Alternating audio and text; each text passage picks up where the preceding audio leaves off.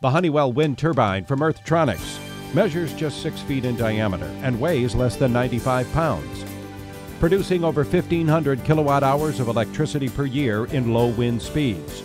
That's about 15% of an average household's energy needs. The home energy solution also includes an earth bulb compact fluorescent light bulb kit, making the combined energy savings over 30%. The Honeywell wind turbine's patented design maximizes efficiency, drawing energy from the fast moving blade tips rather than a complex center gear.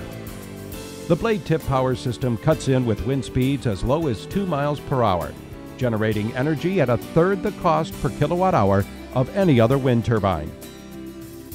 The Honeywell wind turbine comes complete with a computerized smart box, an inverter, and connector to wire the system into a household panel.